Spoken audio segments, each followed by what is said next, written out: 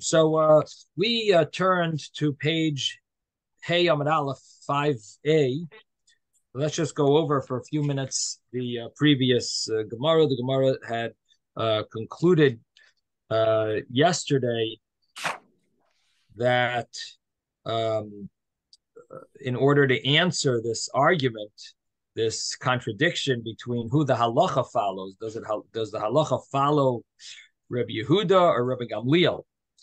Rabbi Gamliel is says that you begin asking for rain on the seventh day of Cheshvan, and Rabbi Yehuda in the Mishnah spoke about mentioning rain and that you start on Shmini Atzeres. And so we had this contradiction. Who the halacha follows, and although the let me mute everyone. And although the Gemara says that there's many differences between these two statements, one is talking about one rabbi, the other is talking about another rabbi.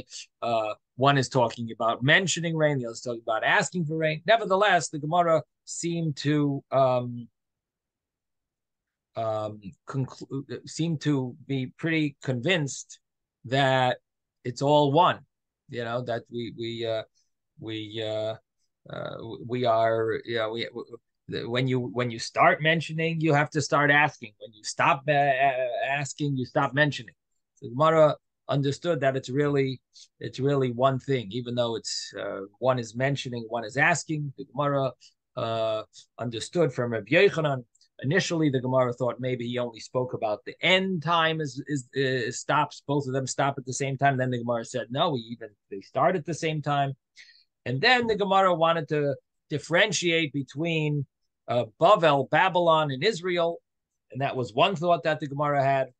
And then the Gemara said that logically Israel should also wait until the seventh of Cheshvan because they also are worried about the rain and uh, for the people who are returning from their pilgrimage for Sukkot, Gemara answered that uh, um, uh, Rabbi Yecha is talking about when the Beis Hamikdash was already destroyed. So in Eretz Yisrael, there's no one. The, the people are not uh, doing a pilgrimage to uh, to uh, Yerushalayim um, at the holidays because there's no Beis Hamikdash, and therefore uh, there's a difference between Babylon and Israel. But then the Gemara says, no, you know what? Once we're explaining that part of the one of the statements is talking about when there's no Beis Hamikdash, so we ought to just say that we're that that that really the main difference is if there's a Beis Hamikdash or no Beis Hamikdash, and forget about the previous answers and uh, we don't have to say that there's a difference between Babylon and Eretz Yisrael, but really what we could say is that they both, uh, at the same time, they will both uh, change. And um, um, when there's no Beis Hamikdash, they will change at Shmini Atzeres. When there is a Beis Hamikdash, they change over and they start mentioning rain at Zayin Cheshvan. So that was the uh, uh, concluding answer of the Gemara. And then the Gemara asked, what about us that have two days of Yom Tov? Uh, which day do we consider the Shmini Atzeres? Which day should we really start mentioning? We know you mentioned on Shmini Atzeres, but which day? Which day of Shmini Atzeres? Because we we we we have two days, and one of them we call Simchas Torah, but really that day is also really questionable if it's Shmini Atzeres. So we have two options of Shmini Atzeres, and uh, Rav and Shmuel, um, they both had interesting views. Rav had a view that you start Musaf, then stop for Mincha and Ma'ariv and Shachris, and then start again on Musaf on Simchas Torah. So he had a very interesting view, and it had to do with the fact that you know it is questionable what day you know when to when to start because on the one hand it is Shmini Atzeres, on the other hand it's questionable maybe tomorrow Shmini Atzeres. So we do a musaf on, on, the first day, and then we wait till the next musaf, and that that was Rav's opinion. Shmuel said um, that that's not good because you are disgracing the holiday. How are you disgracing the holiday? You're disgracing the holiday by you made it Yom Tov, you're calling it Shmini Atzeres, And now you're saying no, but might be might be uh, only the seventh day, and it's not a holiday. Might be only the seventh day of Shana Rabbah, and therefore you stop mentioning the rain. So you're disgracing it, implying like maybe it's not really Yom First you make it Yom then you disgrace it, because at Mincha, in my uh, Mincha you stop. So Shmuel says what you need to do is say it in Musaf, start at Musaf, then include Mincha as well. In this way, Shmini Atzeres you made into a holiday. And then Ma'ariv and Shachris, then you could skip and don't do those because that day you never made into a holiday yet. And then you could start again at Musaf and then go for six months. You know, then you could go from there for six months, mention the rain, and that's how you do it. And then we turned the page and we said Rava has another uh, answer and his uh, uh, to this question of as to when to begin in uh, outside of Israel, We have two days of Yom Tiv. Rava says that once you start, you don't stop. And Shesha said the same thing that you start at Musaf and don't stop. And even Rav changed his mind and uh, retracted. And uh, because we have a statement from Rav Hananel in the name of Rav that you count 21 days and then afterwards you start mentioning the rain. And that's the halacha the Gemara concludes. Hilchasach, since you start, you don't stop. So that's a summary of uh, yesterday's uh, Gemara, and we spoke a lot about a, a, number of different things. One thing we many we spoke about was the uh, question as to is there a mitzvah to be oila regel to go to the Beis Hamikdash when there's uh, no Beis Hamikdash? Is there a mitzvah to go to Yerushalayim, see your show your face? Uh, uh, that you're, you're, supposed to be seen by Hashem. Does that apply if there's no Beis Hamikdash? If you're not going to bring a korban, is there a mitzvah to go anyway? Aliyah Laregel. Does it? Does there any element of of the mitzvah? Uh, and it seemed from our Gemara we said that there's no mitzvah to go, and that's why there was no reason to uh, come back with uh, uh and worry be, worry about the rain on the way back if there's no Beis Hamikdash. That was the you know, that was, a, was one, one of the things we saw in the Gemara. Another thing we discussed uh, was the question of uh, Mordechai about the uh, the the time when you go for Pesach time, why then uh, is there uh, not an issue of it raining when you're going? We mentioned a few answers to that as well. And um, uh, so basically, uh, we are uh, going to begin this new Mishnah on page 5a, which talks about when do we stop asking for rain. So this is a new discussion. We really haven't discussed the end time of asking for rain much. We we came up once, but now uh, the Mishnah spells it out, the two main opinions with their reason, and let's let's do it inside Mish uh, uh, Daf Hey, page five A, and um, five A, the Mishnah, which is seven or eight lines from the top of the page, seven lines from the top of the page. Hey Amud Aleph. Ad Masai Shail and Esageshamim until when do we ask for rain? Rabbi Yehuda Aimer Ad Shiavra Pesach. Rabbi Yehuda says until Pesach is over. And what he means is the whole Pesach until uh, you know the, you finish uh, finish Pesach. Pesach is over. But of course, we had interpretations in the Gemara that maybe it means something else. Maybe the korban Pesach, maybe it means the first day until the first day. But uh, the the, uh, the simple understanding is until Pesach is over, that is when you ask for rain, and that's Rabbi Yehuda's view. Reb Meir Omer Nisan. Reb Meir says until Nisan is over. Shnemer, as it says, the Yored Lachem Geshem, and the rain will fall for you. Meira Umalkoish Berishain the Yoira is the first rains, the Malkush is the later rains, for Rishon in the first month, in the month of Nisan. So, what is Reb Meir's proof? Reb Meir is saying that the whole month of Nisan is a time of rain. Why is it a time of rain? Because in the book of Yoel, it uh, mentions the uh, uh, fact that they had a famine for a number of years, And finally, at the end of the famine, um, in Nisan time, it finally rained. And it rained the Yoira rain, Malkush rain in Nisan. And therefore, you see that Nisan is a time of rain. Now, the the interesting thing is, when did it rain in in in in, in Yoel's time at that mir- that that when that miracle occurred that they finally that they got rain after seven years of famine? When did it rain? So it rained on the first of Nisan and it rained on the fifth of Nisan. That's when it rained. So the question is, how do you know the whole month is a is a month of rain?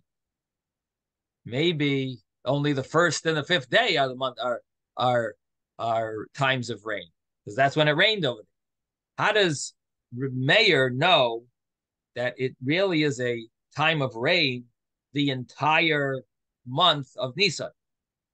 It, it's not exactly proven that the whole month it would seem that it rained the year of Malkish in the first month, but what day? It rained on the first day and the fifth day. So fine. So those days are days of rain. You want to say the whole month is? It, it didn't rain the whole month. So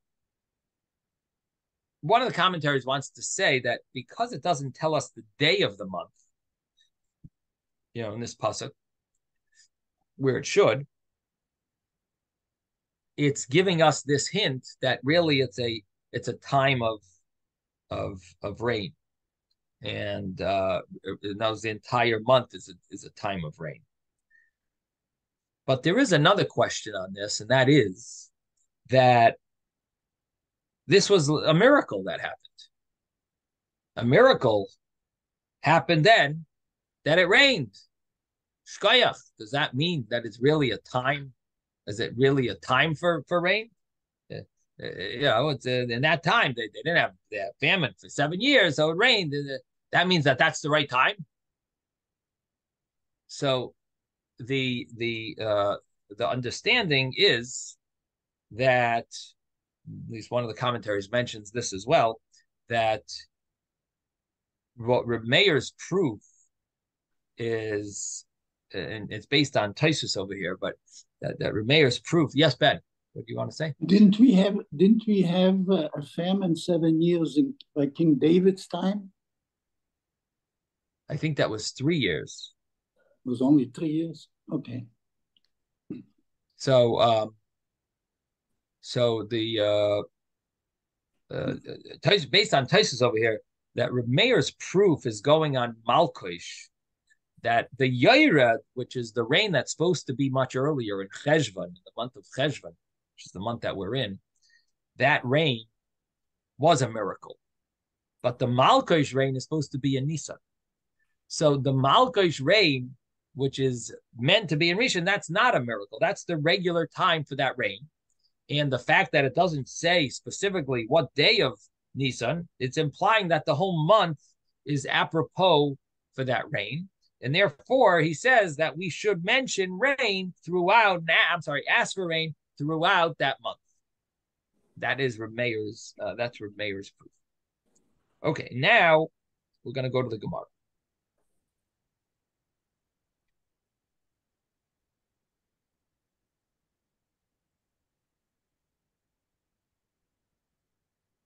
Amalei Rav Nachman, the Rav Yitzchak. Rav Nachman said to Rav Yitzchak, Yoira Nisan is Yoira in the month of Nisan. The, the rain, that the early rain, is that meant to be a Nisan? Yoira b'mar who Yoira is supposed to be in Cheshvan. The Tanya, because we learned in a brisa, it talks about the pasuk that we have in the Shema, V'nasati matar artzachem be'ita yera o malkoish v'alsafta deganecha v'sivoishcha v'yetzarecha. So we talk about yera and malkoish every day in the Shema. And what does the Brisa uh, say about this pasuk? It says Yaira is B'Cheshvan, Umalgoish is Benisan. So why is uh, Yoel calling the rain that comes in Nisan, month of Nisan, why is he calling it Yaira when Yaira really is much earlier? Why is the pasuk calling this Yaira? So the Gemara says, Amar Lay, Rabbi Yitzchak answered Rabbi Nachman, Hachi Amar Rabbi Yochanan. This is what Rabbi Yochanan says. B'imei Yoel ben Pesuel, in the days of Yoel, the son of Pesuel, Niskaye Mikrazeh, it became fulfilled this pasuk. What what is who is Yoel ben Pesu? Who is Pesuel? So there are commentaries that say that Yoel is one of the sons of Shmuel Hanavi, and uh, Shmuel uh, Hanavi is called Pesuel because Pita Lael, he appeased Hashem, he uh, seduced Hashem with his prayer. So, and um, um, we know that Shmuel Hanavi did have a son Yael. So the Gemara says so. So the understanding is that uh, Yael was the son of uh, of Shmuel Hanavi, and um, and the Gemara is uh, is explaining that story. So let's continue. Um, Yoel ben Pesuel. It was the days Techsiv Beya that it says about this um, of this uh, this famine or this uh, situation. Yeser hagezem hagozam achal ho'arba. That the uh, whatever the locust left over, the um, the the the the the uh, the other type of locust called the arba locusts they ate. So whatever the gezem, there, there are different types of locusts, and in fact, Sephardic people I think know the differences. Some of them are there. There are uh, uh, different recipes that are kosher, right? Uh, but anyway, so so there's a few different terms. We, we know also about the different terms because Rashi and Chumash talks about it when it talks about the makas arba. So the uh, the Rashi has a contradiction because Rashi and Chumash, Rashi and Chumash brings a contradiction. He says, "Was this the worst?" It says in Yoel's time that there was the worst. Rashi mentions that in Yoel's time there was different types. In the Chumash and the, the story of uh, the, the, the, ten plagues that came upon Egypt, the, and that was only one type. But here, so there's Gezem and Arba. So the uh, the leftover, whatever the locust left over, the the the Gezem locust, the, the Arba ones, they uh, they ate up. So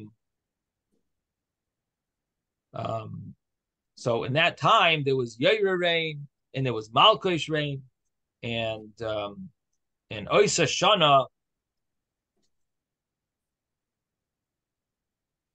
So so in other words, um, what the Gemara is explaining is that there was a major uh, uh, major uh, episode that time where we had seven years of famine. There was a plague of locusts, and during that time, the Yoya, the Yoira rain did rain at the wrong time. It rained. There, was, it was after seven years of famine. It finally rained, but it was late. It, late, it rained in the um, in Nisan, so it's not a it's not a, a problematic verse. It's telling you the facts that the the Yoira that normally rains uh, much earlier in Cheshvan, it rained that year. It rained in Nisan. So Oisa Shana Yotza Adar Yardu Gesham. says that year, the month of Adar came, and there was still no rain. And um, Yarda Lahem Rishayna Bechad on the first day of Nisan, the first rainfall finally came. And it's called uh, Revia, the Ravia Rishina, the first rain, because it sort of uh, it uh, gives seed, it, it it makes the growth um, and to the uh, to the plants. So um, uh, so it says it was the first rain was on the first of Nisan. Amar lehem navali Yisrael So the prophet told Klal Yisrael, which who's the prophet Yoel, and he told Klal Yisrael to viziru go and plant. Now you have to think about this. They hardly have any food. Seven years they've been suffering, and now they're going to take whatever little grain they have and they're going to go plant it. Amru loy. So they said to Yael, Mish yesh lekav chitim kabayim soidim. Person has a, a little uh, an amount, a, a measure of kav of of chitim or or two calves of soidim. Chitim is wheat, soidim is barley. Yechleno v'yichya. Should he eat it and live? Or yizreno v'yamas. Or should he plant it and die?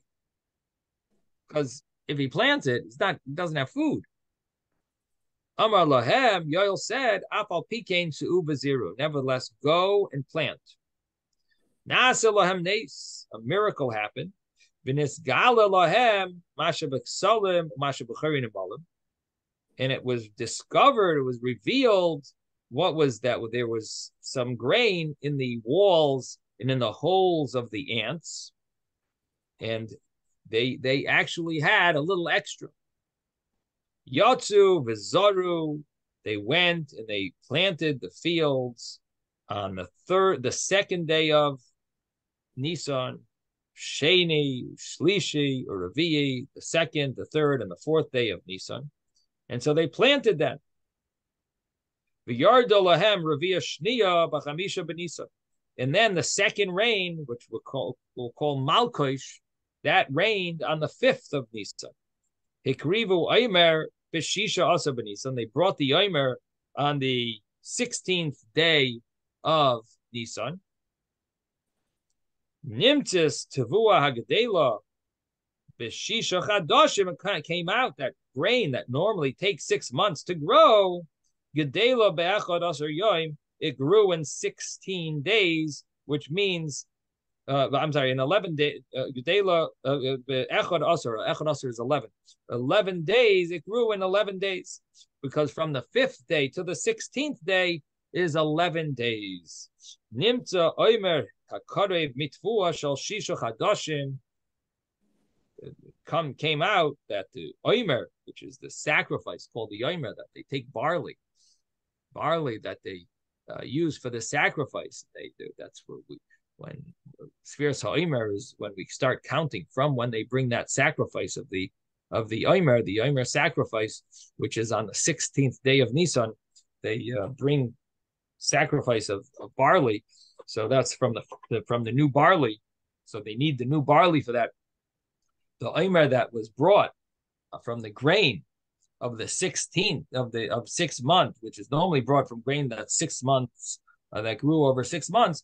Karev mitvua, it is brought from grain shall alcharas yaim of 11 days. Val oisei hadar oimer, on that generation, it says hazayrim bedima, those that plant with tears, berina yaktsairu, they will harvest with joy. So let's just think for a second what happened here. There was this famine. Then, after seven years, the Navi told them to plant, and uh, they uh, they planted, but they, they didn't want to plant because they didn't. They they they they were nervous. They plant, they're not going to have any grain for food. The Navi told them plant anyway, and so. Um, from the wording of the Gemara, it seems that when they found the um, it, it, says it was revealed to them uh, what was hidden in the uh, in the walls, maybe, or in the hole, the ant holes. So then they found grain. Then they planted. That's the, sim- the, the simply uh, the, uh, you know the uh, the way it's the way the order that it says it. But um, um, it seems that really it was the opposite order. Why does it seem it was the opposite order? Well, I'll tell you why. In other words, I'm I'm asking which order was it? How how exactly did they do it? Did they first plant and they trusted Yoel? Or did they wait when Yoel told them, Yoel Hanavi, when he told the people to plant, even though you don't have food, go plant. Did they trust him and plant, and then afterwards they found the the uh, uh, the grain? They found in ant holes. They found grain, or did they first find grain grain in the ant holes and then they planted? So if you look at the what's the uh, the Gemara say that we we see this from a verse from a pasuk. What does the pasuk say? It says Hazorim bedima. They planted with tears, but they harvested with joy. What what does that mean that they planted with tears? Why did they plant with tears if they had enough? They have enough to plant and enough to to eat. So why did they plant with tears?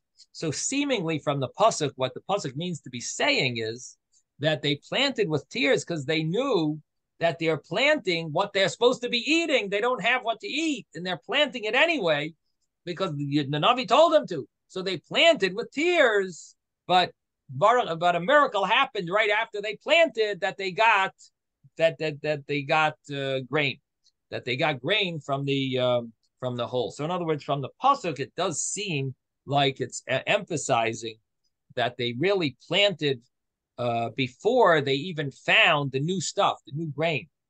And if you learn that way, it comes out that they had tremendous emuna, tremendous faith in Hashem, that they trusted Hashem, that they would they planted, and uh, even though they didn't have food to eat, but they planted it. They took the grain that they should have been eating and they planted it, and uh, a miracle happened that they found right afterwards. Hashem made a miracle that they found right afterwards these uh, the grain inside the walls and inside the uh, ant holes, and they were able to to have what to eat.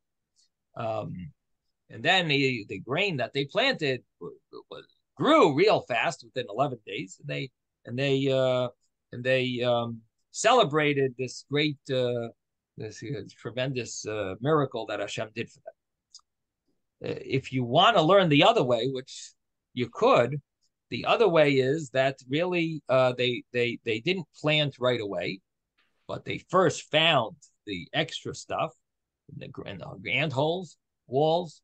Then they planted, and uh, the pasuk says they planted with with with with tears, even though they had enough for now, but it's still very tear. They were very sad because uh, who knows what's going to happen in the next few days. You know, they might they might have enough today. What's going to happen in a week from now or a month from now?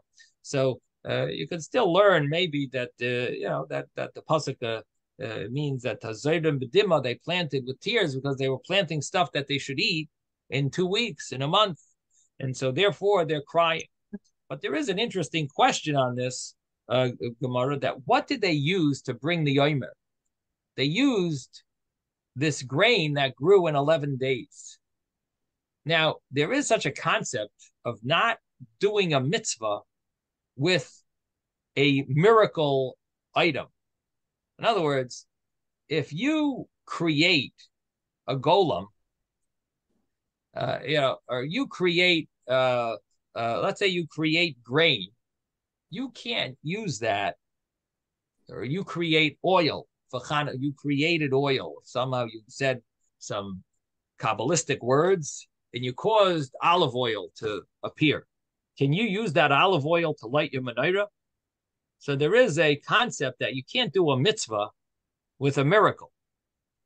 In fact, in Lubavitch, there's a very famous story where uh, the Alter Rebbe was taken for interrogation when he was imprisoned, and they took him on a boat for the interrogation. They took him on a boat to uh, to the interrogation location, which was over the river. They took him there. While he was on the boat, he wanted to say Kiddush Levana, and uh, so he told the captain, "Stop!" You know, this small little boat. He told the captain, "You know, stop. Need to say a prayer." So the captain said, "What? We're going to listen to you, you criminal." We're not, we don't, we don't stop the boat if you ask us to stop it. So the Alter Rebbe told him, the Alter Rebbe stopped the boat miraculously and the, couldn't move. And uh, um, and uh, but the Alter Rebbe did not say Kiddush Levana then. He stopped the boat and proved to the captain that if he wants to stop it, he can stop it. And then they started it again, and it went a little further. And the, he told the, the captain, he says, "Okay, now stop it." So then the captain understood that if he doesn't stop it, the Alter Rebbe can stop it himself. So the captain stopped the boat. So then the Alter Rebbe said Kiddush Levana.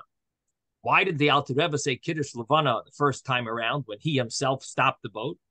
Because you don't do a mitzvah with something miraculous. So the Alter Rebbe had the power to stop the boat, but you know, he didn't want to do the mitzvah on, uh, with with a miracle. He did the mitzvah when the when the captain stopped the boat. That's when you do the. That's when he did the mitzvah. It's along the same lines. There are sources for such a concept that you don't you can't use a uh, a miracle uh, to, to you can't do a mitzvah with a with with a miraculous thing. So, of course, the question is, what about the story of Hanukkah? is that what you're asking, Yehuda? Hello. Well, that that also no. I was going to say, what about the story of Pesach? When when uh, Moshe, well, Hashem uh, split the sea. And what was the mir- What was the mitzvah that they did then? They they escaped. No, we we can use miracles, but the act of a mitzvah is supposed to be done with the physical world. It's it's an element uh, it's a concept of what is the purpose of mitzvahs. Mitzvahs are supposed to be done in this physical world. Right right. And, and the um the idea of doing the mitzvahs in the physical world um are it, it, it, not accomplished if you use a miracle to do it. You're not oh, really I, I elevating the world. Yeah that's the concept.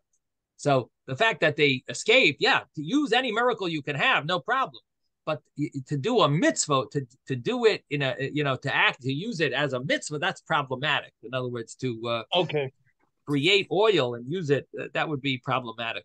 When it comes to the story of hanukkah there's a whole discussion of exactly how the miracle of of the oil happened did the oil just not burn but the oil was there so the oil was there it just never burned so then it's not the miracle was that it didn't burn, but the actual oil was oil, you know, was regular oil.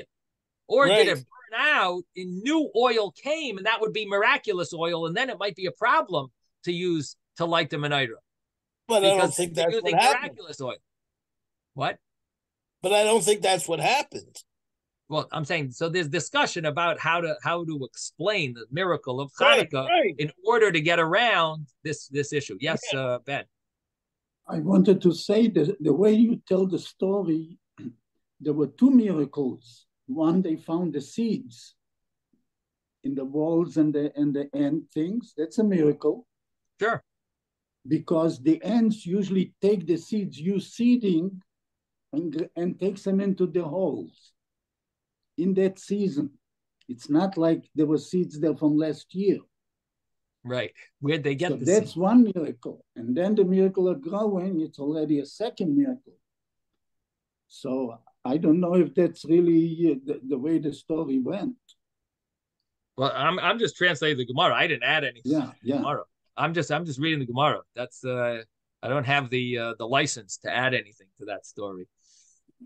That, that, that was just simple translation because they seeded it late, but the right. rain came immediately after the seeding.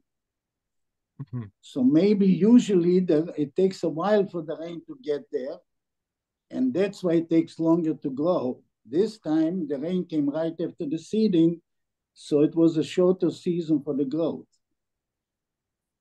Mm-hmm. So it maybe can be explained differently, is what I'm saying, you know. That, because if they don't bring the, the Omer, if they don't bring the Omer, the Kohens and Levis are going to be hungry, right? Not exactly. The Omer was a small little uh, sacrifice of some barley. It didn't. It, it, yeah, it's, but, it's but not, still, they have to bring it for them to eat, isn't it? No, no, no. The Omer was a small little sacrifice. Okay. Very many. So, um, what what did you say, Ezra? I said it was symbolic of the fact that Hashem right. has provided for them. That's, that's right. Symbolic. Okay, I didn't have the one. Um, so the um, uh, the answer to this question is that the the grain grew in a miraculous. It grew fast, but it grew. It was not created. It was not a miraculous it, wasn't an actual the grain was not a miracle that appeared that there was grain. It was grain that grew from the ground. It happened to grow in a fast way. So the miracle was in how fast it grew but not in the fact that it didn't grow and it was just appeared. You know what i mean? So it wasn't grain. At least this is uh, one of the commentaries explains that it was grain that's not called grain of a miracle because the, the, the miracle was just how long it took, but it wasn't the actual item. The item was not an item, a miracle item. In any event, uh, so here we have this story of the grain um, uh, uh, growing in a very short time period, and um, and on this the pasuk says Hazayrim bedima berina yitzayru. They they were rejoicing when they when they reaped the uh, when they reaped the the grain, when they reaped this uh, the grain. Now the pasuk says, continue. The Gemara continues and brings the continuation of the that of that chapter of Tehillim.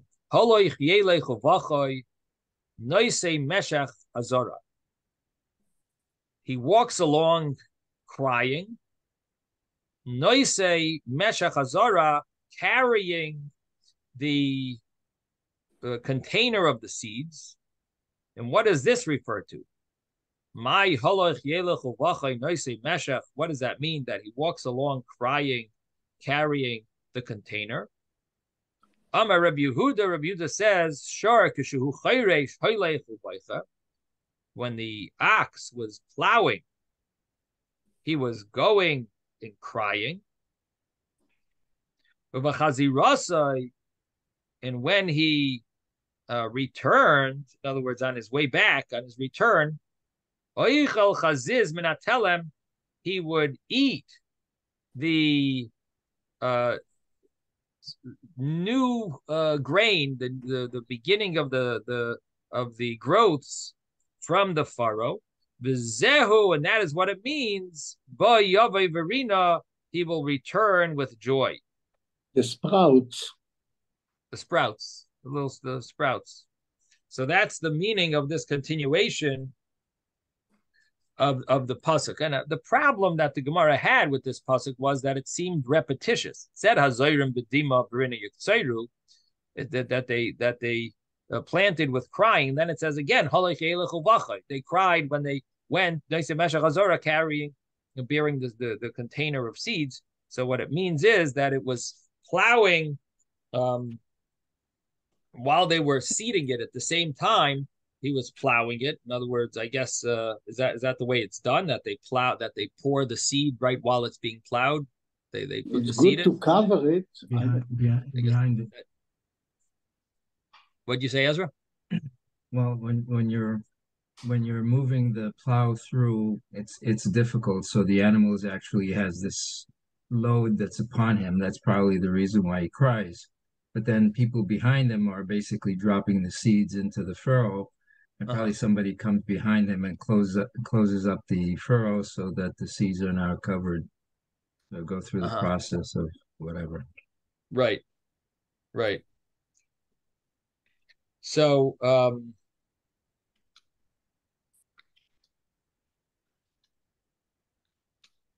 so the Gemara says, what is the meaning of my noise alumaisav carrying sheaves? Alumaisav, his sheaves. What does that mean? Carrying his sheaves. So the Gemara says, Amarav Chisda, Ramilav Masisa Tana, Kana Zeres, Shiboilas Zersayin. The stalk was the size of a zeres, and the shiboiles, the ear, was the size of zeresayim, two zereses. And um,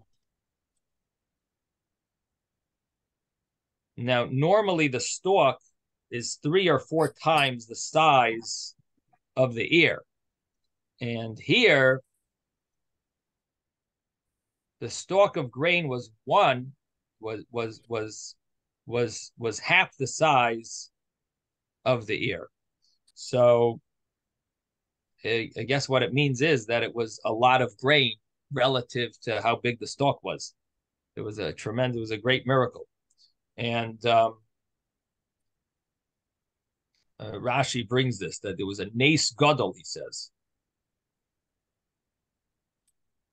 Now, um, again, I'm not. I, I don't really understand grain. I don't. We're not, you know, living in the industrial world. We don't see how grain grows. But I'm guessing. But I think that's what it means. That the that the the stalk is normally much.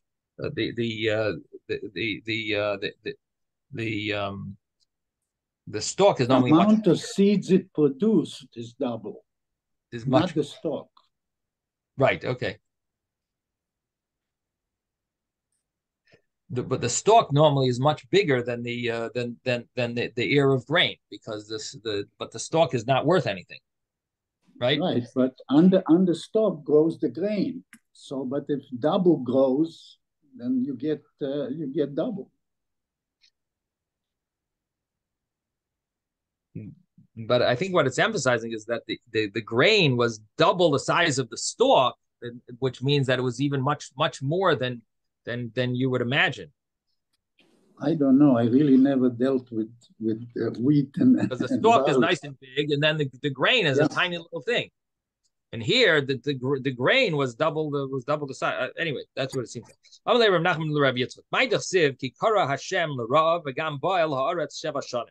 What is the meaning of what it says that Hashem called a famine and he came and it and it came and el haaretz and it came upon the land for seven years. What did they eat during those seven years? A very sad story. Amar Amar Yochanan. This is what Rabbi Yochanan said. The first year they ate what they stored in the house. Shnia. The second year they ate what was in the field. Shlishas Basar Behema Tahira. The third year they ate animals, kosher animals. Revias Basar. The fourth year they ate treif animals. Chamishas Basar Shkatzim Merumasim. The fifth year they ate um, um, shkatzim, these uh, creeping creatures, shkatzim merumasim. And Shisha's Basar say him in the sixth year, they ate the flesh of their sons and their daughters. And the seventh year, Basar Zrayasehem, they ate the flesh of their own arms. Makayim Mashanemar, fulfilling what it says in the Pasuk, Ish Basar Zroy Yechelu, that each person will eat the Basar, um, the um, the the meat of their arms. Uh. And now Rav Nachman asks Rav Yitzchak, "My dechsiv bekirbecha kadosh." Another, another, another discussion.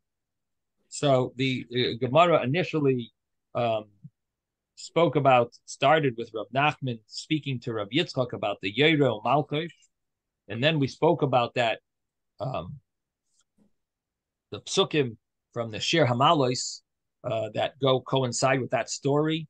Then they spoke about the uh, the uh, the seven years of the famine, and now Rabbi Nachman Bar Yitzchak talks about another pasuk, something else, a different different topic. So now we jump to another topic for those that were getting uh, very nervous about the uh, the rain, mentioning rain, and asking for rain. We have a new topic. We're on page five A, and we're at Amar le Rav Amar le Rav Nachman Rav Yitzchak my dechsiv bekirbecha kadosh v'loy avoy ba'ir. What does it mean that I will uh, in your midst?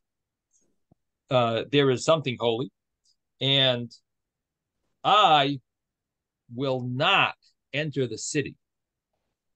What does that mean? Normally, if something's holy, I will enter the city.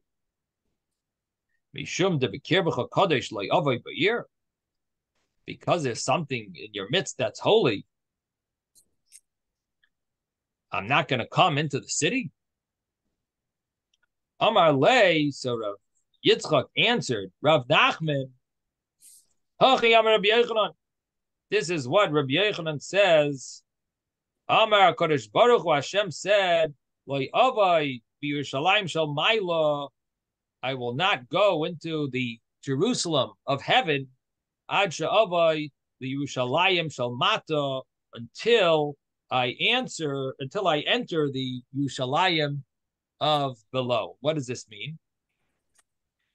That uh, until I uh, uh, entered the, the lower Jerusalem, uh, I will not go into the city of, in other words, Bekir Kadosh, until it's Bekir Kadosh, until in your midst is Kadosh, I will not go into my city above, and um, until you are redeemed from Golus, and uh, the Shechina is in, is in Yushalayim, only then will I uh, find, will I enter my uh, presence uh, in the heavenly home.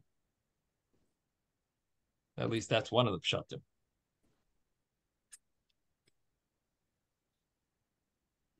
Now, um,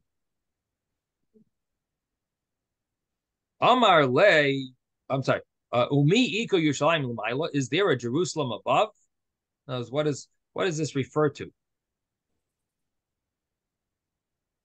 That's an interesting, but I mean, just thinking about that story, about that that translation.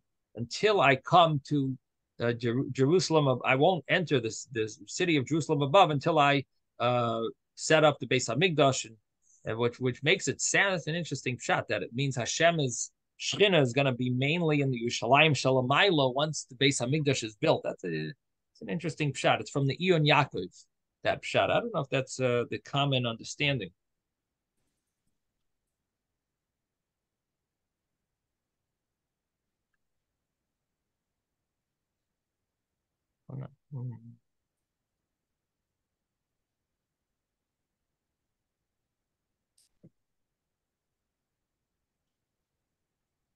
Like if that's what he means, it sounds a little strange. Like Avay B'Yushalayim Shal Maila until I come to Yerushalayim Shal Mata. So the Gemara asks, Is there really a Yerushalayim of above? And the Gemara answers, In, there is one. There is a Yerushalayim above. The Chsiv Yerushalayim Habnuya, the Yerushalayim that's built up, Ke'ir, like the city, Shechubra Layachtov, that's attached to it together. So what implies is that there's another city uh, that's uh, attached to Yushalayim, and that is uh, Yushalayim that's above. I just want to see if there's another Gemara here. See if they... Rabbi, you jumped what they ate in the first year, second year, third year, fourth year. We did that. Okay. Yeah Because I see behema, behema tmea, and I'm surprised that they had to eat behema tmea. What about what it says after it? It's shocking. חמישית בשר שקצים, yeah. No. What, what about after that? ברמסים, או בשר בניהם ובנותיהם, whoa. Was there a time like that? That's what it says during that during that time.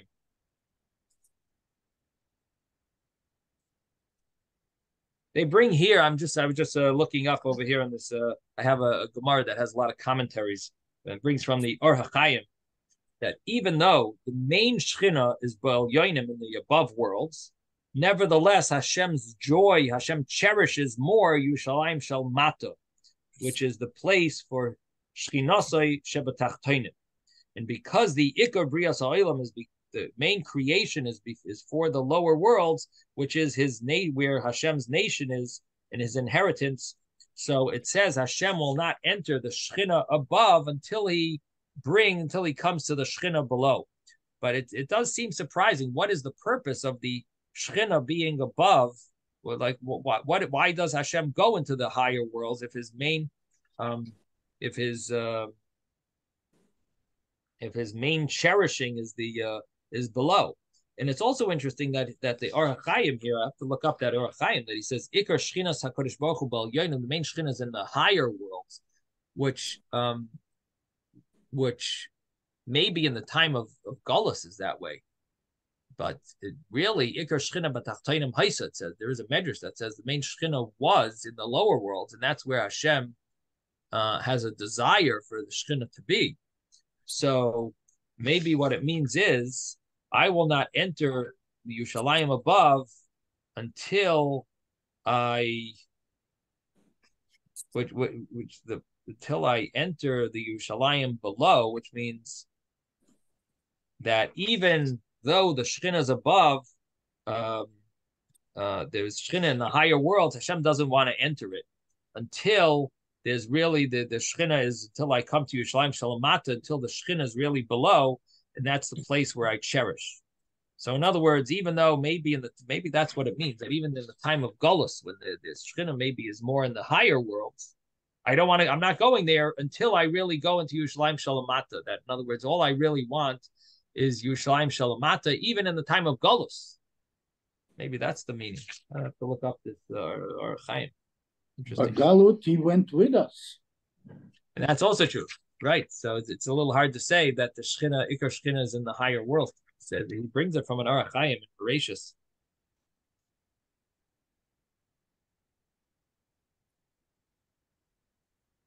So the, the Ramban has another shot here. He says that Hashem says, I can't rejoice, I can't uh, have pleasure until I come to Yerushalayim Shalamata because Hashem's in pain because of uh, um, um, that the Shrin is in pain um, uh, whenever the Yidden are in Gullus. And so that's the meaning. I won't enter Yerushalayim Shalom Milo, which basically means Hashem doesn't have any enjoyment until he comes to Yerushalayim, until the Beis Hamikdash is rebuilt. There's no real enjoyment. Again, this is Homiletic uh, uh, Gemaras. Is uh, I got it's called the Gadat Gemaras. They're sometimes very hard to understand, and we have to like uh, uh, these this is where the secrets of the Torah are hidden in these Gemaras. So you got to like uh, work hard on trying to uh, decipher what they mean. And any in any event, the Gemara does say that there's Yerushalayim above and Yerushalayim below, and uh, below, and they're attached. And um, the simple understanding of uh, this idea is that that there's really uh, the Beis Hamikdash is built already in heaven. And that idea maybe is, is what it says. I will not go into the Yerushalayim above until I enter Yerushalayim be- below means that mean would, would seemingly mean that I am not going to bring down the Beis Hamikdash from above until it's ready and I can enter the Beis Hamikdash below. I can bring it down below, then I'll bring it down. In other words, there is a Beis Hamikdash, there's a Yerushalayim above, that's that's ready to be brought, and it's waiting. Or every time we do a mitzvah, we add a brick onto that Beis Hamikdash. And so it's Hashem. There's a big discussion: who is Hashem building the Beis Hamikdash? Is Mashiach building the Beis Hamikdash? And uh, there are different sources where it says different things. And uh, the Rebbe has a has an insight that it's the Beis Hamikdash is really built by Hashem. The third Beis Hamikdash I'm talking about, really built by Hashem, but the Mashiach is going to do or the or the Bnei Yisrael, they'll they'll put on the door because if you do the door, it's considered like you if you uh, attach the door, the the uh, the uh, the lock, the key, you, it's considered as if you uh, you built it.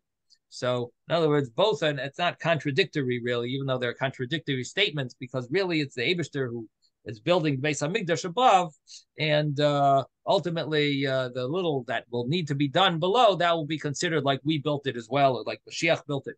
So that's the uh, maybe the meaning over here that I won't enter Yushalayim above, meaning I won't bring down the Beis Hamikdash until Ad Yerushalayim Shalmat, until I can I can enter the Yushalayim below. In other words, that'll be fit for the Shechina. And then I will be able to bring down the Beis Hamikdash that's above, and that's what it means. There's a there's a Yushalayim that's built above that is waiting to be uh, to come down. I have to see if, if the Rebbe brings this uh, Gemara in that Sikha, those Sikhas that he talks about this. Yes, uh, Ben. I, I, I wanted to say now that you said that the, sometimes the Gemara is Amaletic, Yeah. maybe that answers the question I had before. How would God make us eat something that's not, that told us not to eat it? Why would he force us to eat it? Listen, I, I I wish that that Gemara was not literal, but it does sound to be very literal. Where it, you know, he, it seems like there's a tradition of that story, but I wish I- you know I the can't thing see for the other the people- other part, the other years. I can see people eating their own hand or, or you know, your, their own. Well, I mean, anyway, they during would, the they Holocaust, catch, maybe they, they would catch some animals or some other people, but they wouldn't, they wouldn't eat their own hand. You know. all I know is that I once heard from a Holocaust survivor that was uh, uh, doing the march at the end of when the at the end of the war, when Yeah. they marched people for miles and miles, they had nothing to eat. uh, that they would lie down on the uh, on the snow in the ground, and the, the great joy they had was when they were able to kill uh, uh, some type of a uh, That's what uh, I'm saying, yeah. or you know, so they had that that that that's what it reminded me of when I saw that. Uh, You that would they eat eat grass, shut you would eat grass before you eat, before you eat your own hand. yeah, but they ate The, the shkatim flesh and mustard. of the sons and ate daughters. ant- What? The flesh of the sons and daughters That's On a the very sixth wolves. On the sixth year. That's from Yeah. That's from listen. from the Tochacha. So and it happened. Yeah. Yeah, yeah. Okay, so um, That's a Shalom. let's continue. So we have the next Gemara here. Another Va'amar- question. What? Ne- the next uh, the next Gemara is Va'amar Le Rav Nachman the Rav Yitzchak. Nachman said to Rav Yitzchak, "My dechsiv uba'achas yivaru yivaru v'yichsalu musar havolim etzu." That with one ba'achas with one yivaru, um, um, that ba'achas yivaru v'yichsalu musar havolim etzu. What does this mean? They are completely um, um, foolish and stupid, and a musar havalim a rebuke of worthlessness. Each one is wooden. Amar le hachi amar Rabbi Yochanan. So Rabbi Yitzchak said, but this is what Rabbi Yochanan explained. Achas. There's one sin that causes the wicked to burn in Gehenna. Mahi, what is that sin? Avodah zara, that is the sin of idol worship. Siv hacham musar havalim etzu. It says here that there's musar havalim, a rebuke of uselessness. Etzu, uh, it is wood, or each is wood. And it says over there about Avodah zara, about idol worship, Sivhasam Hevel Hema Maise Tatuim, that they are Hevel, they are worthless, they are vanity. Uh, Maise Tatuim, a work of delusion. So this is that that is what it says about Avodah Zarah. So the Gemara's understanding, and maybe we'll have to go into exactly how to interpret this pasuk but this the the the general idea is that idol worship is the um is is basically a very severe avera that causes the rishayim to burn in Gehenna. It's this one avera of idol worship. Ba'achas, that's the meaning of ba'achas. With one sin, yivaru, they will burn. And uh Musar Havala Metzu, it's from this sin of idol worship. And I guess we'll continue tomorrow. Mitzvah Hashem, Zai Gesund, everyone. Have a Thank wonderful you. day. Okay. Thank you, Rabbi. Thank you, Rabbi.